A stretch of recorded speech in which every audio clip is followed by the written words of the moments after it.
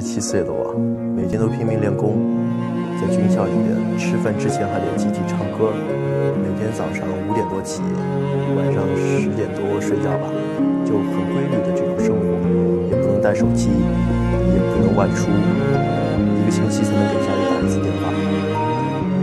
那时候很单纯嘛。匆匆那年，我们究竟说了几遍再见之后再拖延？可惜谁又没有爱过？不是一张激情上面的雄辩。匆匆那年，我们一时匆忙撂下难以承受的诺言，只有等别人兑现。不怪那吻痕还没积累成茧，拥抱着冬眠也没能羽化再成仙。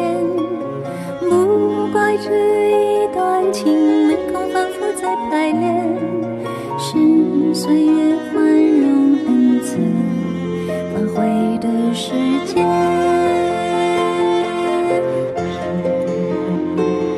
如果再见不能红着眼，是否还能红着脸？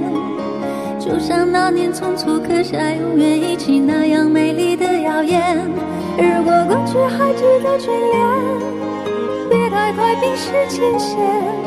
谁甘心就这样彼此无挂也无牵？我们要互相亏欠，要不然凭何怀念？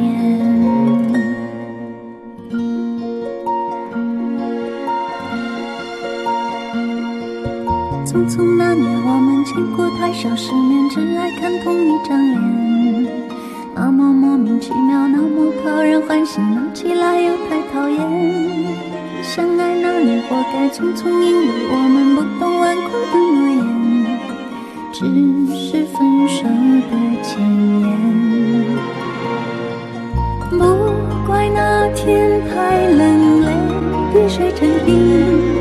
春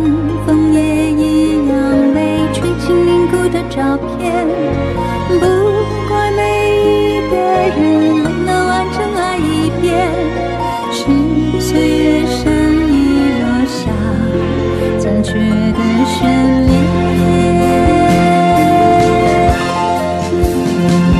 如果再见不红着眼是否还能红着脸？